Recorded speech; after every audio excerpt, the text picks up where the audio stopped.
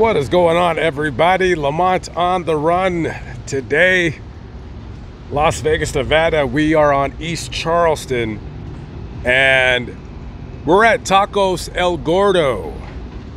So, when I was a cab driver out here, I used to quite often I would take people that were from, you know, California or they're from other parts, and they would say, Take me to Tacos El Gordo. They got the best tacos ever, right?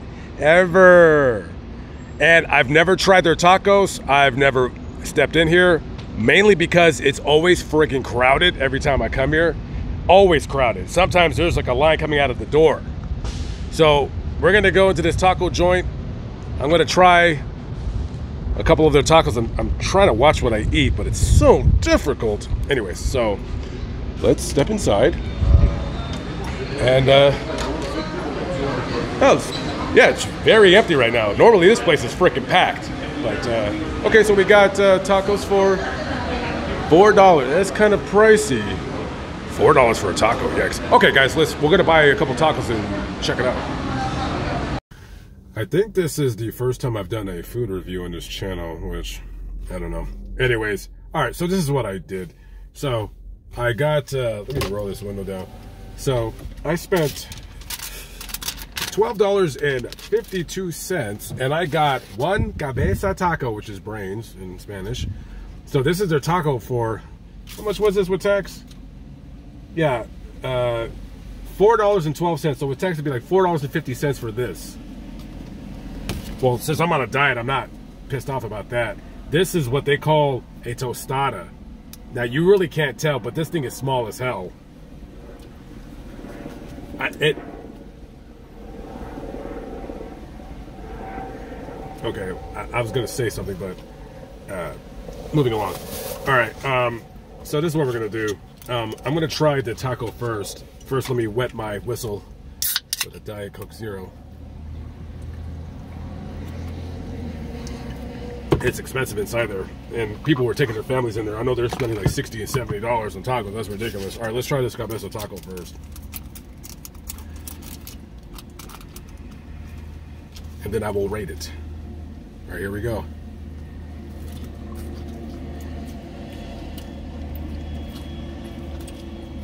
Very good.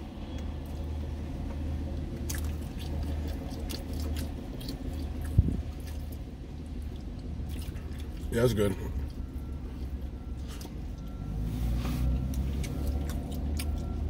I'll give the rest of the birds. Okay. So there was that. And then, let me wipe my fingers off. Okay, so we will try this now. This is the quesadilla. All right, it's two chips with some meat inside. All right, let's just get this over with.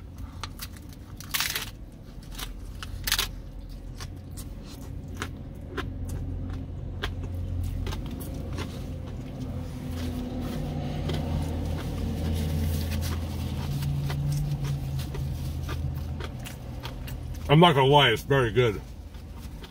Yeah, very good.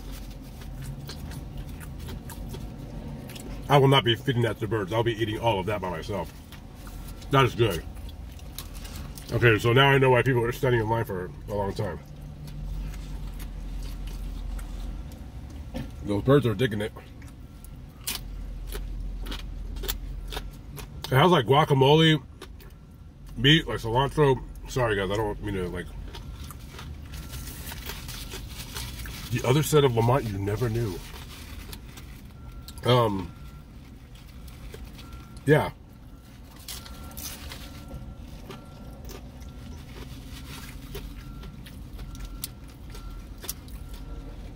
This is good, really good.